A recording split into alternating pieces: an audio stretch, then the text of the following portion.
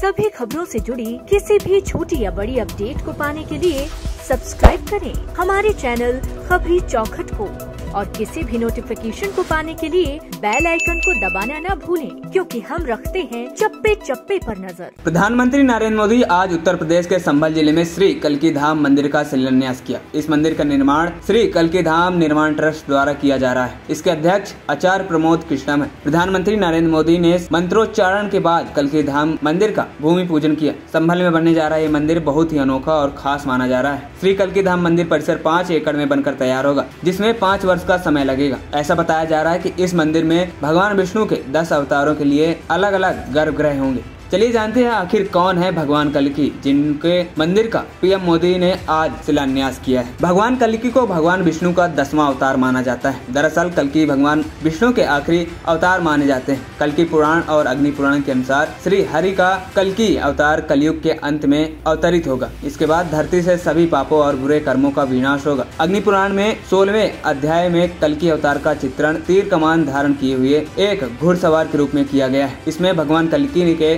घोड़े का नाम देवदत्त बताया गया है। पौराणिक मान्यताओं के अनुसार कलयुग चार लाख बत्तीस हज़ार वर्ष का है, जिसका अभी प्रथम चरण चल रहा है। जब कलयुग का अंतिम चरण शुरू होगा, तब कलकी अवतार लेंगे। वहीं कलकी पुराण के मुताबिक भगवान कलकी का जन्म भी उत्तर प्रदेश के संभल ज़िले में ही होगा। कलकी का जन्म एक ब्राह्मण परिवार में ही होगा। भगवान कलकी एक महान योद्धा होंगे, जिनका जन्म कलयुग के अंत में सभी बुराइयों को दूर करने के लिए होगा। आइए अब आपको बताते हैं भगवान विष्णु के बाकी अवतार कौन है। भगवान विष्णु के पहले अवतार में है मत्स्य अवतार। भगवान विष्णु का पहला अवतार मत्स्य अवतार है। इस अवतार में विष्णु जी मछली बनकर प्रकट हुए। मानता अनुसार एक राक्षस ने वेदों को चुराकर समुद्र की गहराइयों में छुपा दिया था। तब भगवान विष्णु ने मत्स्य अवतार लेकर वेदों को प्राप्त किया और उन्हें फिर से स्थापित किया। दूसरा अवतार है कुर्म अवतार। कुर्म अवतार को कच्छप अवतार भी कहते हैं। इसमें भगवान विष्णु कछुआ बनकर प्रकट हुए। कच्छप अवतार में श्री हरि ने क्षीर सागर में समुद्र मंथन में मंदिर पर्वत को अपने कवच पर रखकर संभाला था। तीसरा अवतार है वराह अवतार। वराह अवतार हिंदू धर्म के अनुसार भगवान विष्णु के दस अवतारों में से तीसरा अवतार इस अवतार में भगवान ने सुअर का रूप धारण करके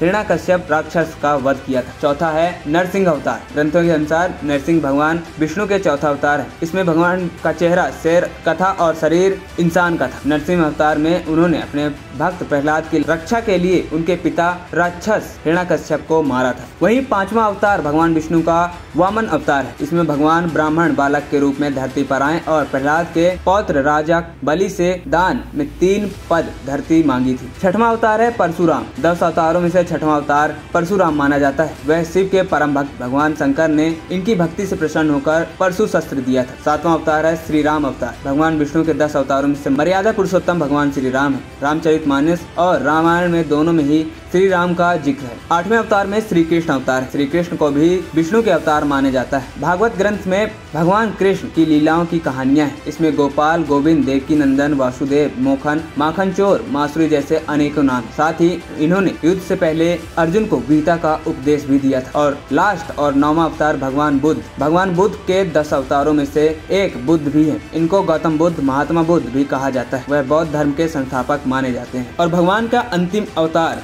कल की अवतार माना जाता है, जो कि फ़िलहाल अभी प्रकट नहीं हुए हैं। ऐसे ही देश, दुनिया की रहस्यमयी खबरों को जानने के लिए आज ही सब्सक्राइब करें हमारे यूट्यूब चैनल खबरी चौखट को।